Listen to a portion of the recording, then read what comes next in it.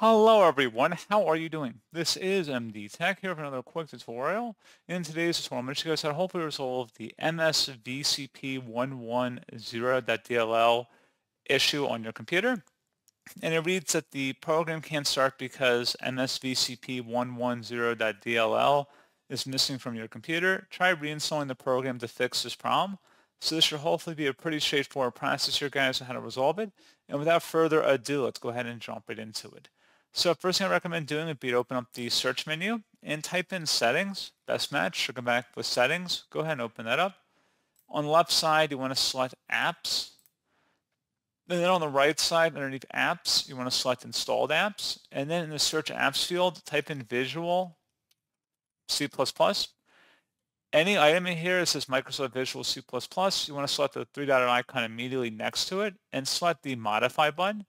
Select yes and then select the repair button. And then select close. And then we're going to do it for the other item in here as well. You may have noticed it asks us to restart our computer. We're going to do that once we're done the second item in here. So go ahead and close out of here at this point and restart your computer.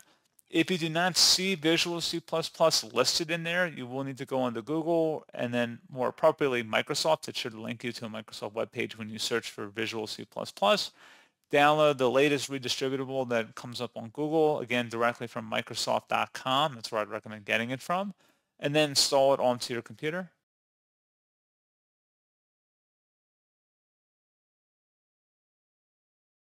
And then once that's done, open up the search menu and type in CMD, best match, or come back with command prompt. Go ahead and right click on that and select run as administrator. If you receive a user account control prompt, select yes.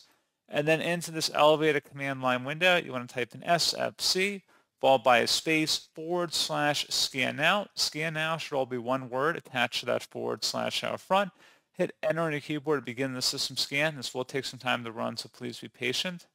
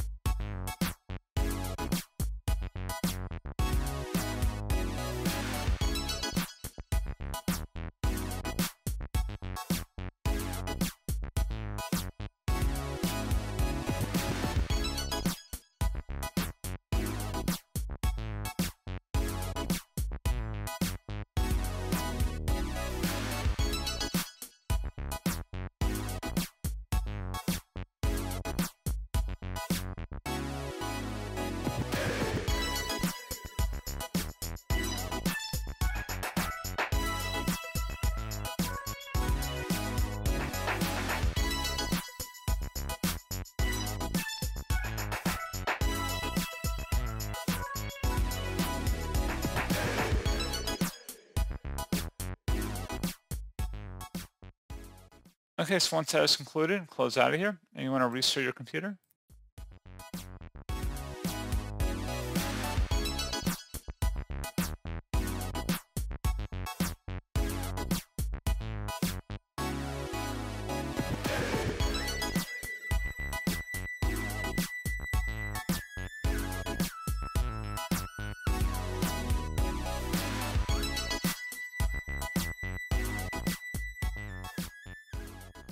And then hopefully this pointer issue has been resolved. So as always, thank you guys for watching this brief tutorial. I do hope I was able to help you out, and I do look forward to catching you all in the next tutorial.